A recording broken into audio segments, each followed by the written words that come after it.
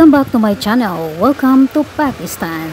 Today or tomorrow I mean is Eid al-Adha. Muslims all over the world are celebrating Eid al-Adha. Here in Pakistan they called it Bakra Eid. Muslims around the world are slaughtering animals for sacrifice or qurbani. And these are the animals that they usually slaughtered. These animals are sheep, camel, cow, and goat. These animals should be healthy and will be decorated before the day of sacrifice. Dresses is more important or one of the most important for women here in Pakistan. It is part of their culture and this kind of dresses is, are the dresses that Baluchi people are wearing.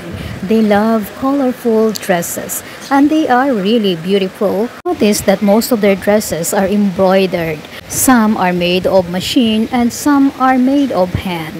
We are now in Bazaar, one of the bazaar here in Karachi. Since dressing is one of the most important part of their culture, especially for the woman, we are now in Bazaar. We are going to complete the dresses that we are going to wear during the celebration. One thing that I want to share with you here in their bazaar, especially those who are stitching or tailors, are men. Here in Pakistan, you cannot find or you cannot see a woman stitching on public.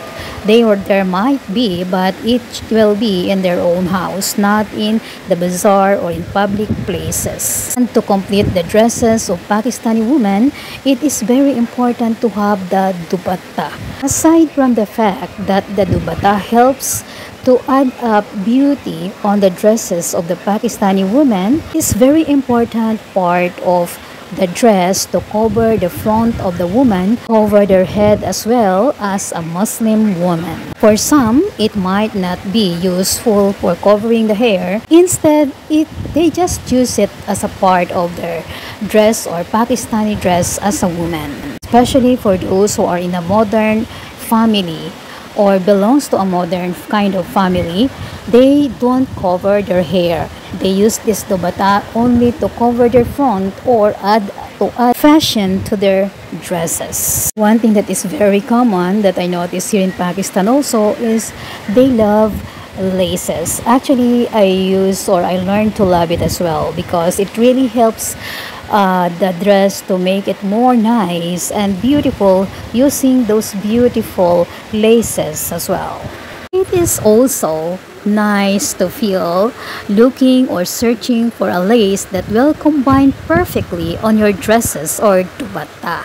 Since it's Eid, you must or they must wear something that is fancy.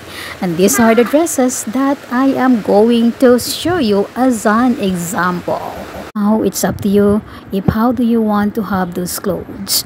You can have it stitched or you can buy the ready-made dresses. They have the branded one or you can buy in the public market for the normal or cheapest ones. In most of their occasions, they also use mehendi or henna as part of their culture. Thank you so much for watching. If you are new to my channel, please don't forget to subscribe, like, share this video. Have a great day everyone and see you on my next video. Bye for now.